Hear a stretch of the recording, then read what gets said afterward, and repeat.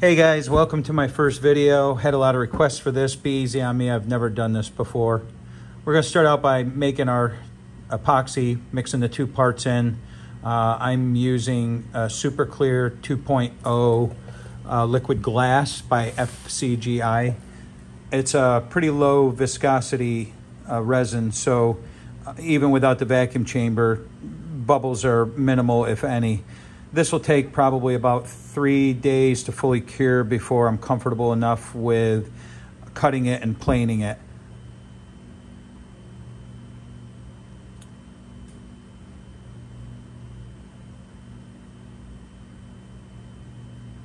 Over here you can see this is the mold I built, form rather. I made this out of melamine. You can get melamine pretty cheap from the big box stores.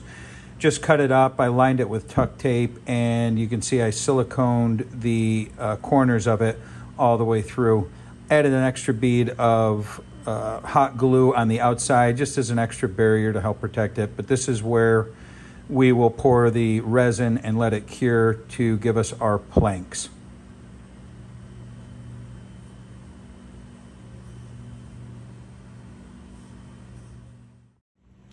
Here's where I'll hit it a few times with the torch um, and that will just get rid of some of the air bubbles on top. A uh, little low on uh, butane here. So, um, but for something this small, I'll just use a little handheld butane, give it a few clicks. Don't want to give it too much heat because you don't want it to, uh, to flash cure or uh, cure unevenly. After I initially hit it with the torch, then I will use a um, uh, alcohol spray rather uh, going forward, and that will have the same effect. It'll break the surface tension, break any air bubbles at the top of it. Any 91% um, isopropyl alcohol spray will do just fine. This one I think I got at Walgreens or something. Now we'll wait for the resin to cure. Like I said before, that'll take about three days, so we'll come back, check on it then, break it from the mold, and start uh, milling it along with our lumber.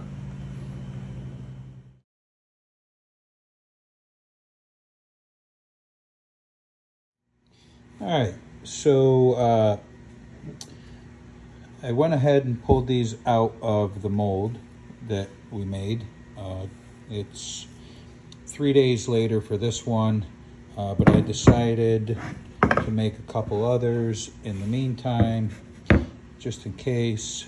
Um, and this is what we wind up with, a lime green one, a yellow one, blue one.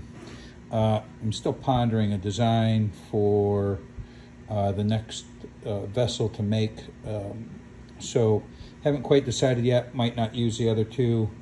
Uh, might just stick with the blue uh, for the time being. But you can see these planks here, they're casted almost about an inch thick, uh, actually a little bit more than an inch.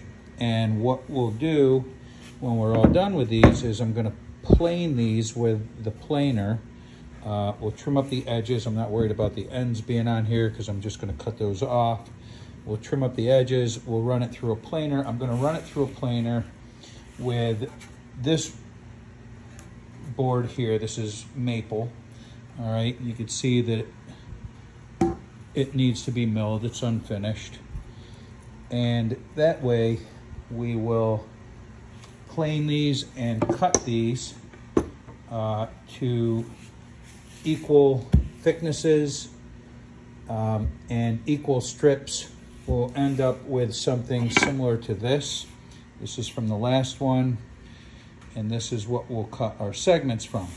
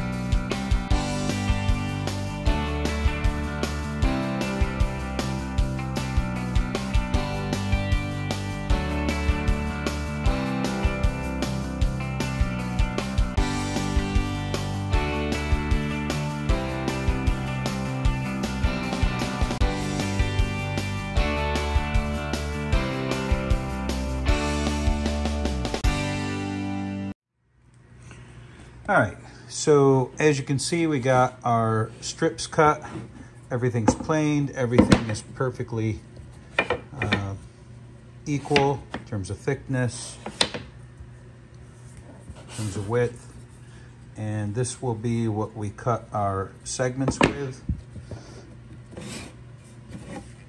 With both the maple and the cast resin. Uh, don't worry about uh, irregularities or little divots or whatnot in the resin.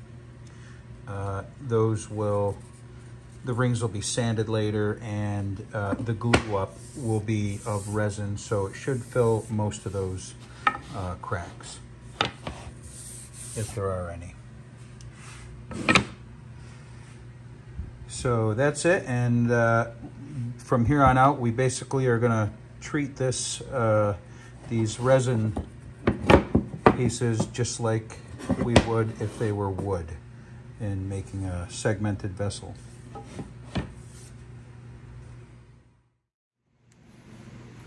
All right, so this is where we begin uh, cutting the segments. So based on uh, however many segments you're going to use, uh, that will determine the uh, degree at which they need to be cut. So in this case, uh, I'm going to be doing uh, 20 segments per ring. Um, there are calculators online that you can use to determine what the degree is. Um, they'll also help you determine uh, the length based on the circumference that you want. So I have a precision miter. Um, you want to use a precision miter because the miter that comes with your saw is going to have a lot of wiggle room in the track here and just the tiniest little bit is going to throw off uh, your segment angle. And though it might not seem like much, even if it's a 64th, uh, it compounds for the segments going around in a circle and they'll never line up correctly. You'll have all kinds of problems. Um, it also has these pieces in here that expand and make it nice and snug in the track. So when you put it in, there is no movement back and forth. It can't shift at all in there. Uh, that's important to have a, an accurate angle on each and every segment. I have this piece of wood here uh, just so that uh, when I have my fence set based on the length of each segment, um, I can just butt this against it instead of having to, you know, fight the fence the entire way uh, with the wood against it uh, to where I cut the segment. So I'll butt it up against that and now I'm not hugging the fence anymore. It'll go and cut. So I'm gonna do the first cut on here uh, just to get the first angle started because right now that's just a, a 90 degree angle.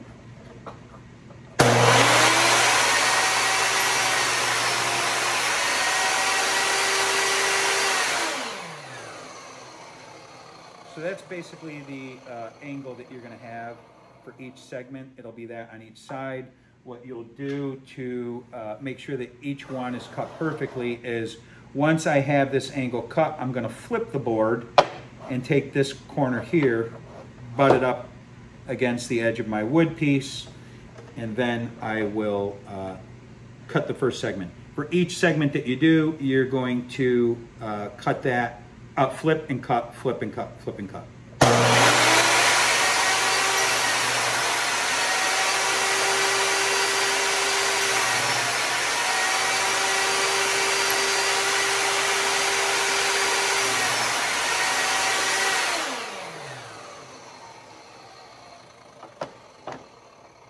And so what you'll wind up with are your segments like this.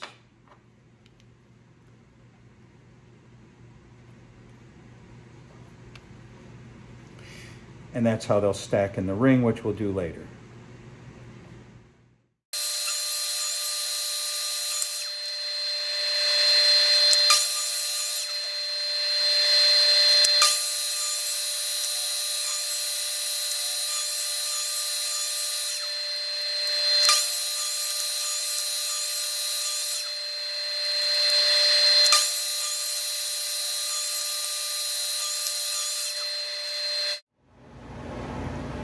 All right, so what I'm gonna do next is uh, something that, uh, an idea that I had for uh, an issue that I had with the last vessel I did on the glue ups. And what I'm going to do is I'm going to take uh, the segments, at least the resin segments and the wood segments that connect to the resin segments, and I'm going to sand them down nice and smooth. This is 120 grit because I found some uh, what seemed to be air pockets and the glue up. I used a resin to glue it up uh, and they were visible since the resin is translucent. So I'm gonna attempt to tackle that, and this is how we're gonna sand them. And then when I'm done sanding them, on the wood pieces, I'm gonna put a seal coat with a paintbrush, just a thin layer of resin on the wood pieces that the resin connects to. I don't care about the wood pieces that connect to other wood pieces because you're never gonna see that. Uh, so we're gonna go with a seal coat this time and I'm going to uh, get these sanded down first and we'll have to wait for the seal coat to dry.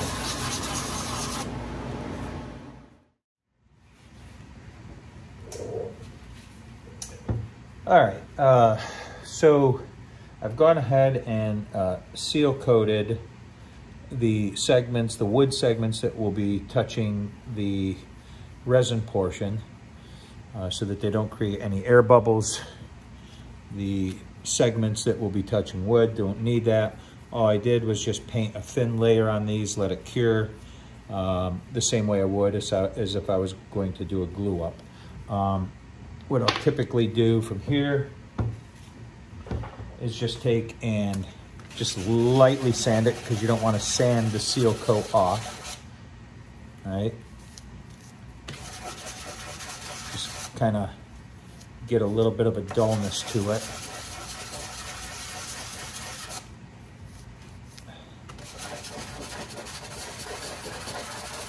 so that the uh, resin that you're going to use for glue up will adhere to it.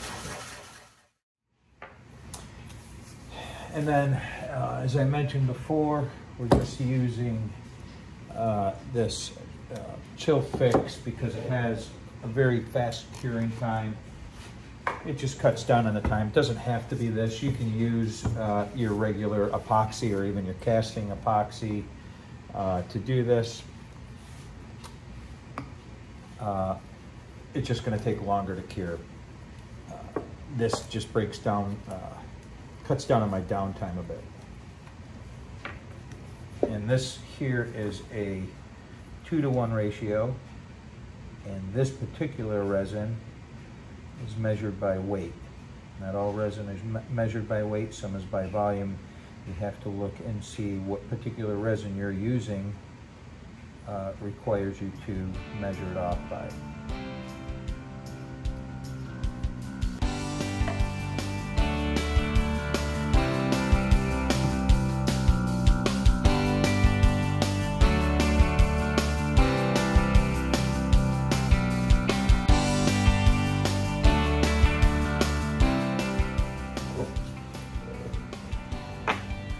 Take the pieces, separate out the ones that you seal coated, so that you know which ones are going to border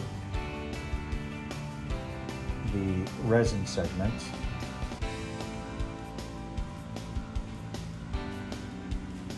And you're gonna paint resin onto both sides of it, just like if it were glue.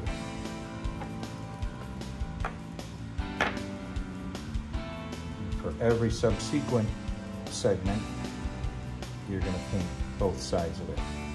You want contact from both sides of each segment.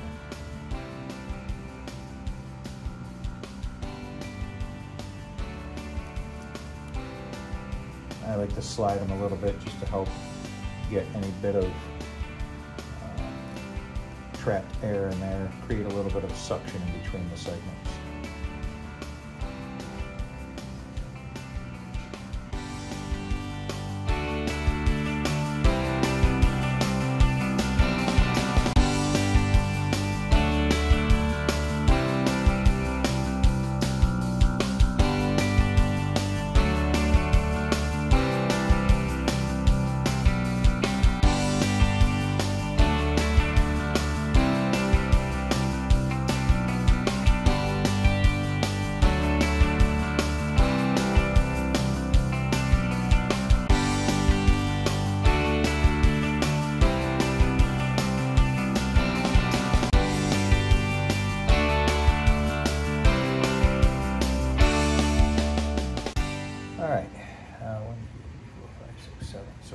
You have them all in place,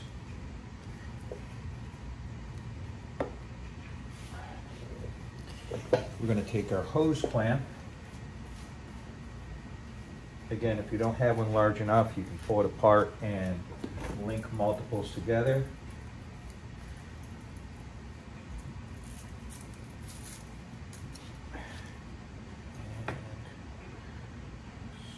And around it here. And I'm gonna little by little tighten it. um, Just so that we don't get shifted out of uh, out of proportion. Pay attention to your segments, like this one here. You just simply push back toward the outside of the ring. You want to try to make sure they're as flat as possible. Even though you're going to sand it later, it just creates a lot less work if they're all flush. All right. Flip it around, tighten it a little bit more.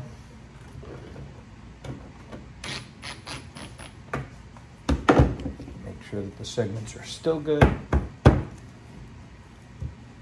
you need to, you can knock it down with a mallet. The segment's a little bit out of place.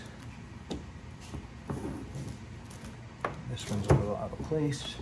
So just take it, squeeze it back, push it back this way to the outside of the ring. It looks like we're pretty, this segment here needs to be pushed a little bit. Let's do a quick scan around it. Uh, this one is pretty good. And then from there, you can go ahead and crank down on hose clamp. That's it. From this point, you'll let the resin cure. In this case, it's usually about three to four hours, depending on ambient temperatures and a number of other factors. But uh, and I try to just give a quick wipe off of the excess. Again, it doesn't matter too much because we're going to sand it uh, once it's cured and before we stack the ring onto the next the next piece. And there you have your ring. You're going to repeat this process for every ring that you do that you're going to stack for whatever vessel that you're making. And it's just rinse, repeat, rinse, repeat. All right, uh, for sanding these down, I'm, I'm gonna try a little bit of a new method than I normally do. Uh, that was recommended by uh, some wood turners a, on a page that I'm on.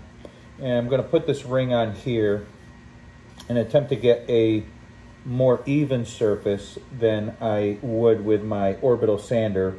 A drum sander is ideal, but I don't have a drum sander.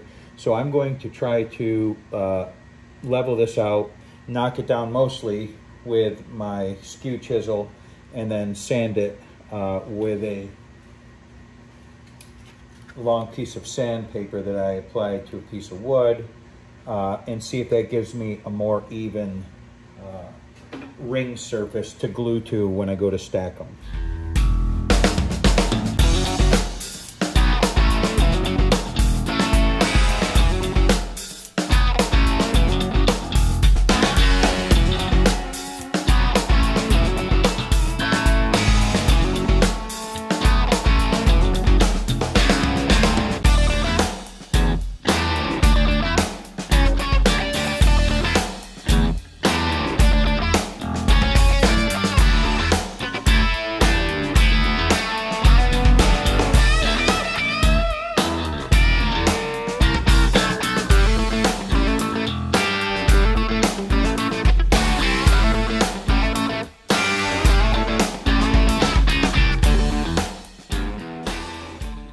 See pretty smooth all the way around.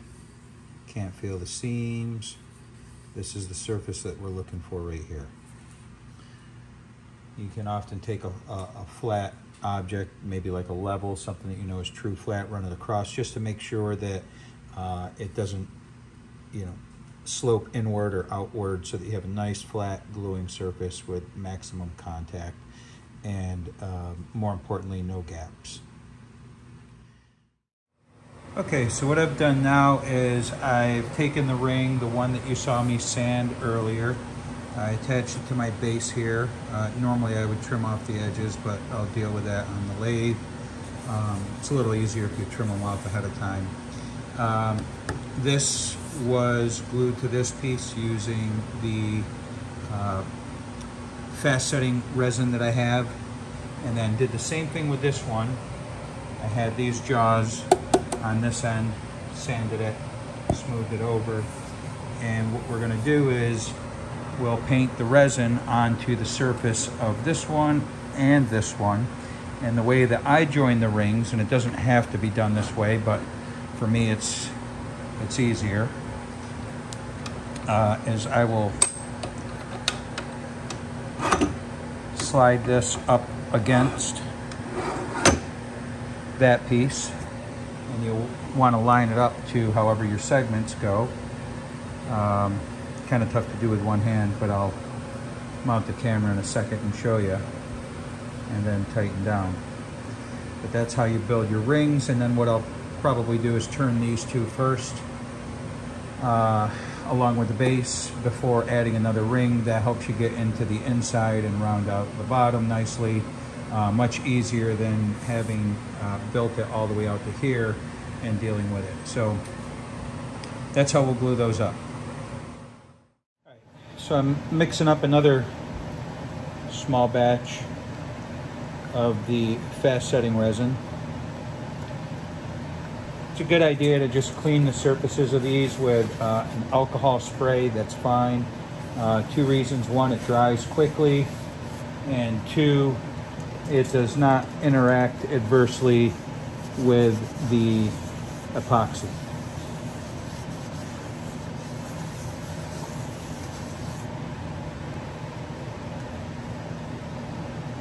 And again with this you want to be pretty generous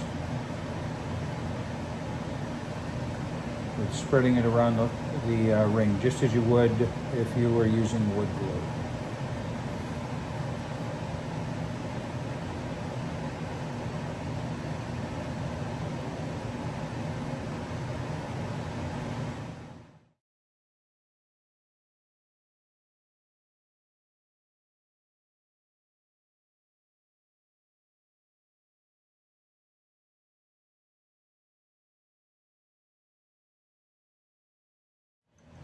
Crank this down. Just gonna snug it up onto the ring. Tighten that.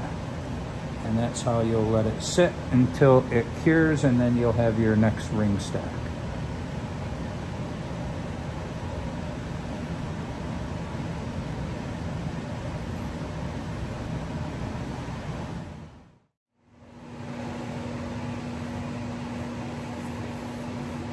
All right, so uh, now's the time where we start turning it.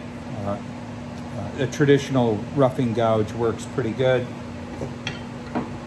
uh, to rough it up with, but when you start getting into the finer things, you want something like a, a scraper, using a number of scrapers because they're a lot more gentle on the resin. Otherwise, the resin will chip. Uh, even the, the roughing gouge will make it chip a little bit. Uh, but for finishing, I will almost always finish with a uh, traditional type uh, scraper. Uh, so we'll go ahead and start turning a bit.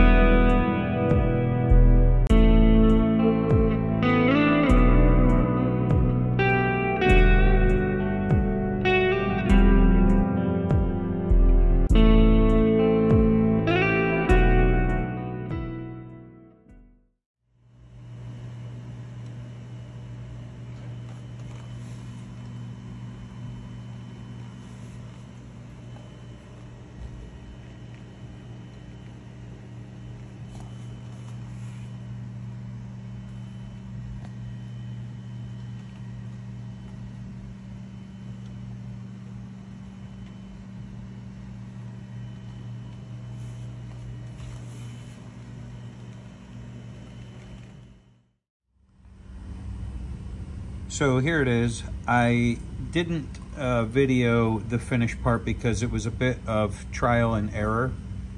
And uh, I tried a number of things because I wanted to go for a gloss finish. Uh, first one was friction polish. Uh, it came out terrible.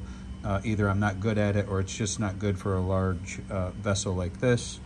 Um, but that's the finish that I got on it. It was, um, uh, what I ended up doing was uh, on a recommendation from one of the instructors at uh, Rockler uh, was to spray it with a uh, Rust-Oleum crystal clear enamel and uh, then I polished it down, wet sanded it, polished it back down again, and then I ended up actually putting a coat of um, wax on it.